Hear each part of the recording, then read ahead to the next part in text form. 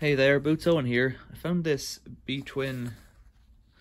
It's a little chain lock. I don't know what size you'd call it. I haven't got the key. It's sold by Decathlon.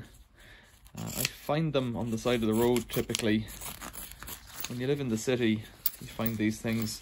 It's got a little chain inside it. The chain's probably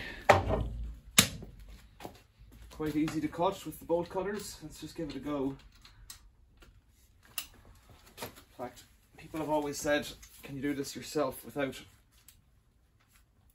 Oh, maybe not.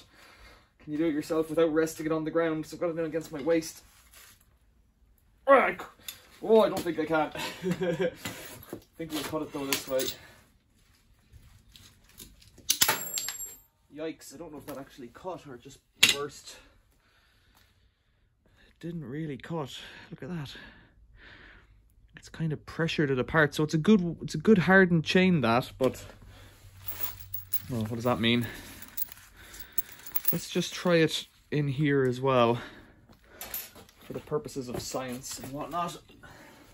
I'll show you the teeth on this. You can see it's actually, it's pretty much worn flat. The jaws are, well, I've tested quite a few bike locks for the channel. So don't know if you can see this. I'm putting all my pressure on it.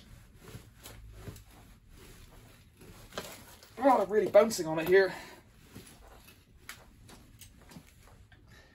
Yikes. Don't know what's going on there. Nothing, I would say. It's just springing on the plastic. Well, that's positive. Let's try it there. Trying to get it in, in at the jaws.